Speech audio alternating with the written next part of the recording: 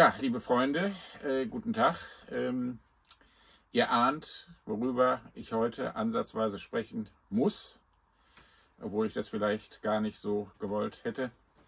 Natürlich geht es um die Wiederwahl von Donald Trump. Ähm, ich habe das Ganze genannt äh, Trump 2.0, Tragödie oder Farce, Fragezeichen.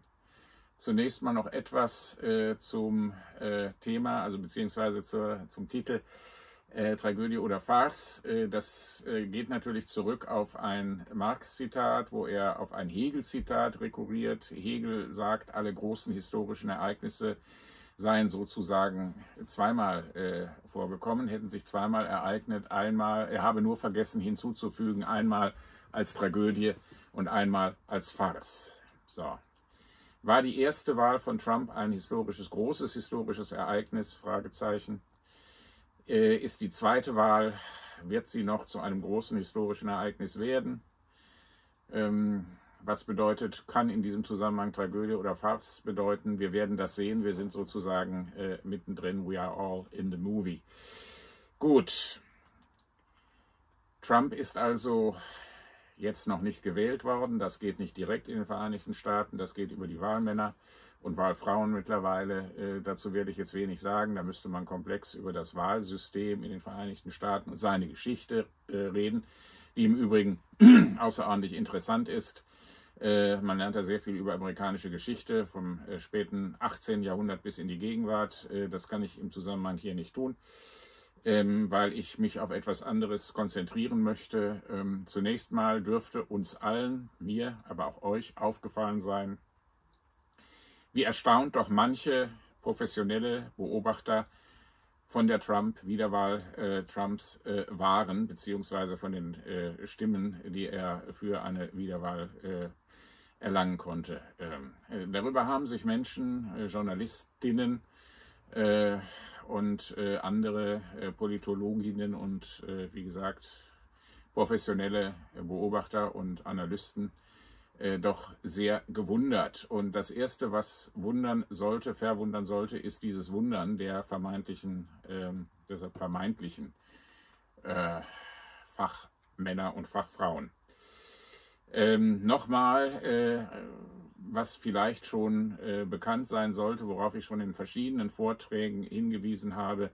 Donald Trump ist Bestandteil eines größeren historischen Zusammenhangs einer alle mindestens westlichen Länder umfassenden prä- oder postfaschistischen äh, Bewegung. Bewegung ist vielleicht nicht ganz richtig, weil man da immer so an eine äh, mehr oder weniger straff geführte Bewegung denkt. Das ist aber nicht gemeint. Man könnte eher von Strömung reden, prä- und äh, äh, protofaschistisch. Äh, das muss auch geklärt werden. Äh, es geht also nicht nur um die Person Donald Trump, ganz klar, sondern es geht um äh, Verhältnisse auch und insbesondere politische Verhältnisse, die so eine Person wie Trump möglich gemacht haben. Und da, glaube ich, muss man sehen, äh, dass es sich äh, doch um etwas Neues handelt. Es handelt sich um eine hybride Form äh, des Politischen, das, die sich zusammensetzt aus ähm, traditionellem Konservatismus, klerikalem äh, Konservatismus oder auch ja, Prä- oder Protofaschismus, äh, besonders äh, in den Vereinigten Staaten, ähm, Neoliberalismus, aber auch anderen Formen, die man also Ordoliberalismus nennen könnte, also die Vorstellung, dass Kapitalismus nur funktionieren kann, Liberalismus in der Wirtschaft nur funktionieren kann, wenn der Staat bestimmte Aufgaben wahrnimmt, bestimmte Regelungen vornimmt, äh, bestimmte Regeln erlässt, etc. etc. Ähm, aber auch ein äh, Neoliberalismus, äh, der also äh, speziell im ökonomischen Bereich äh, kennzeichnend ist. Und äh, man könnte einige andere Aspekte auch äh, nennen und darunter, und das ist eben ganz entscheidend, äh, durchaus äh, Momente, Elemente äh, faschistischer Herrschaft.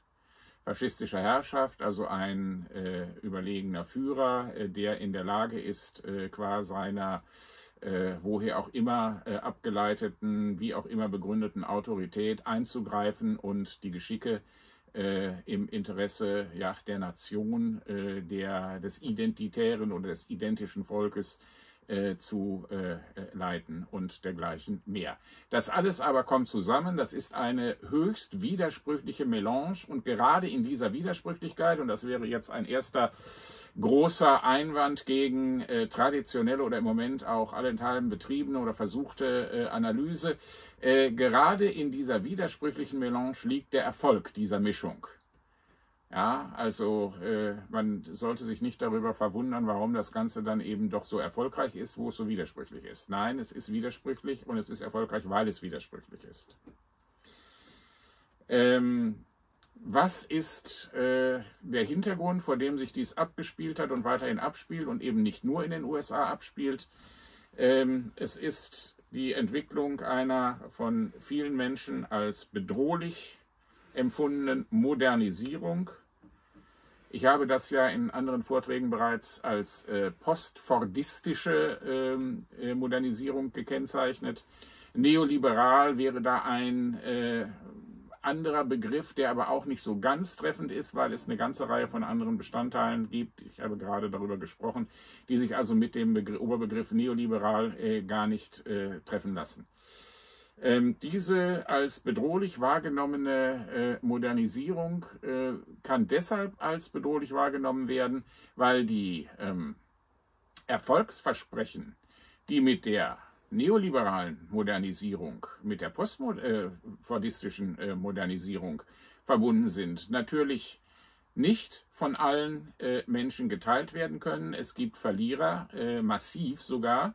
Und die Anzahl der Modernisierungsverlierer ist so groß, dass auch diejenigen ähm, die Modernisierung als bedrohlich empfinden können, die gar nicht zu diesen Verlierern gehören.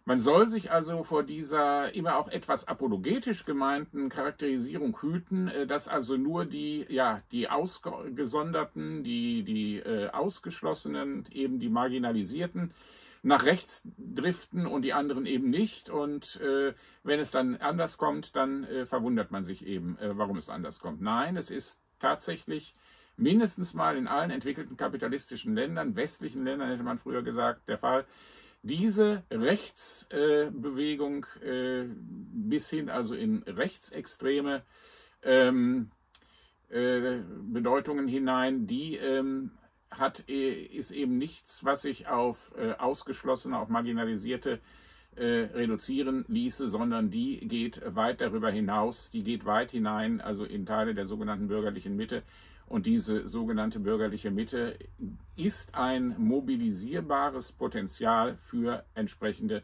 Politiken. Also für das, was die AfD in Deutschland betreibt, was äh, diverse Organisationen äh, in, in Italien äh, betreiben, äh, Front National, der jetzt äh, Rassemblée National heißt in Frankreich und dergleichen mehr. Ich will das nicht alles wiederholen, weil wir haben häufiger darüber gesprochen. Ähm, was passiert da eigentlich? Ähm, ich kann verweisen jetzt mal, äh, was ich mit einer gewissen perversen Freude immer gerne tue, auf Alice Weidel, die sofort gesagt hat, naja, also die amerikanischen Arbeiter, die haben Trump gewählt. Und da zeigt es äh, sich mal wieder. Was zeigt sich da? Naja, klar, auch die deutschen Arbeiter werden ne, nicht Trump wählen, können die nicht, aber AfD wählen. Also die waren, AfDler waren doch äh, sehr froh äh, über, über die Wahl von Trump und haben sie in äh, äh, gewisser Hinsicht als äh, vorbildlich betrachtet. So nach dem Motto, wenn der das kann, dann können wir das schon lange. Und äh, ja, äh, da haben Sie vielleicht auch nicht ganz unrecht. Was ist jetzt eigentlich der tiefere Grund dafür, äh, dass, dass Trump von so vielen Menschen doch gewählt wurde? Ähm, der tiefere Grund, also es gibt nicht einen äh, Grund, es gibt mehrere. Ich will mich aber auf einen wesentlichen beschränken, äh, deshalb, weil er, ja, weil ich ihn für wesentlich halte und weil er, wie ich meine, einfach immer zu kurz kommt in allen politischen äh, Analysen und Debatten. Ja. Ähm, man darf nicht vergessen, dass ein von nicht durchschauten Warenbeziehungen strukturiertes Bewusstsein nach personalen Agenten sucht, die eine von ihm bedrohlich, als bedrohlich empfundene, von ihm gefürchtete Modernisierung verantworten sollen. Es sind die falschen Politiker, die die, falschen Polit äh, die falsche Politik machen. Es ist das, was also in, äh, im AfD-Jargon äh, in äh, schlechter Tradition, übler Tradition linksgrün versifft heißt. Äh, und äh, ihr kennt entsprechende Formulierungen von Trump, aber nicht nur von Trump, sondern auch der GOP, der Grand Old Party, also der Republikanischen Partei in den Vereinigten Staaten. Das wirkt mitunter sehr lächerlich, äh, wenn also äh, Trump äh, erzählt, dass jetzt äh, äh, Migranten äh, massiv Haustiere fangen und schlachten und aufessen. Es wirkt schon weniger lächerlich, wenn er auf das Genet, die schlechten Gene der Migranten verweist, die das Blut der amerikanischen Nation verderben und so weiter. Da sind wir also mittendrin, also in einer faschistischen Argumentation. Ähm, entscheidend ist, glaube ich, eines, die konkurrierende Organisation, die Demokratische Partei in den Vereinigten Staaten, hat deshalb so große oder große Schwierigkeiten gegen diese Art von Demagogie ähm, äh, äh, vorzugehen, äh, auch argumentativ, argumentativ vorzugehen, weil sie äh, bis zu einem gewissen Grade mit genau dieser Modernisierung in Verbindung gebracht wird. Der von mir sehr geschätzte Publizist Volker Weiß hat äh, seinerzeit schon darauf hingewiesen, dass bei Trump 1 sozusagen, bei der ersten Wahl von Trump, die ja noch sehr knapp ausging im Vergleich zur, zur äh, jüngsten Wahl, äh, ein Grund dafür, dass er von vielen Menschen äh, gewählt wurde, auch von vielen, die man jetzt so traditionell äh, ja, der Arbeiterklasse, dem Proletariat, äh, der hart arbeitenden Bevölkerung äh, zurechnen würde. Ähm, ein Grund dafür äh, bestand zum Beispiel äh, in den Clintons. In äh, William, also Bill und, und Hillary Clinton, die wahrgenommen wurden, mit einer gewissen Berechtigung wahrgenommen wurden als Vertreter von eines finanzmarktgetriebenen Kapitalismus, als Agenten der bedrohlichen äh, postfordistischen Modernisierung und dergleichen mehr. Die Demokratische Partei, erinnern wir uns daran, war in den 60er Jahren äh, und eigentlich ist sie das bis zu einem gewissen Grade bis heute geblieben, Partei der Bürgerrechtsbewegung äh, gewesen, der äh, mindestens mal äh, Gleichstellung von äh, Schwarzen in den Vereinigten Staaten äh, eine Partei, die sich also um äh, Frauenrechte äh, bemüht, bemüht hat und weiterhin bemüht, um die Rechte von LGBTQ-People und so weiter und so fort. Und dies gilt natürlich jetzt dem sozusagen von Verdinglichungsmechanismen betroffenen Bewusstsein als, äh, ja, wie soll man sagen, eine Personifizierung der als bedrohlich äh, gefürchteten äh, Modernisierung, postfordistischen Modernisierung. Das sind diejenigen, die das betreiben. Und äh, wenn wir also etwas wollen, was uns nützt, unseren, Klammer auf, auch materiellen, Klammer zu, Interessen, dann müssen wir uns gegen diese Leute wehren. Das heißt, die bedrohlich, als bedrohlich empfundene Modernisierungstendenz, nicht nur Tendenz, die Entwicklung, die wird eben Menschen äh, in die Schuhe geschoben. Für die werden Menschen äh, verantwortlich gemacht, die eigentlich damit gar nichts zu tun haben. Die vielleicht auch Ausdruck dieser Art von Modernisierung sind, die es aber bestimmt nicht durch ihr Tun, durch ihr Handeln, durch, durch ihre politische Aktivität betreiben. Und was dahinter steht, was jetzt erwartet wird, sozusagen als, äh, will mal etwas paradox formulieren, dystopische Utopie, das ist ein Zurück zu den vermeintlich guten alten Zeiten. Es ist ja interessant, dass zum Beispiel Trumps Slogan bei Trump 1 wie bei Trump 2 ja nicht gelautet hat irgendwie uh, We will build a new America, wir werden das neue Amerika schaffen oder so etwas, sondern Make America Great Again. Also eine gewissermaßen nach hinten und aus der Vergangenheit sich speisende Utopie. Wenn wir nur dahin zurückkehren. Zu den, ich würde jetzt mal in meinem Jargon sagen, schlechten alten Zeiten, aber manche, für manche Leute waren es die guten alten Zeiten, wo also die gigantischen äh, Industriebetriebe, die fordistischen Industriebetriebe noch äh, existierten, wo es noch Kohlezechen gab, ja, wo noch niemand sich daran gestört hat, dass massiv fossile Rohstoffe gefördert werden und äh, verfeuert werden, wo der gute alte Verbrennermotor massiv gebaut wurde, Detroit beispielsweise und äh, diesen äh, Gegenden der Vereinigten Staaten und, und, und. Und wenn wir da wieder hinkommen, dann wird sich also äh, das Phantasma der äh, guten alten Zeit dann doch verwirklichen.